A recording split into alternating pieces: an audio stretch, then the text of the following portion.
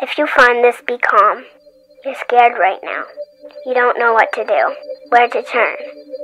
You wonder if you should run or if you should fight. You should do both. We were there when it happened, when they came, when the skies darkened and the rains fell and fell and fell. You think they're from far away, but they're not. They're from much closer than you think. They're from a world right under ours. Want to know what to do right now? Get on your knees and pray. Pray that they don't find you. Pray that you won't go down without a fight.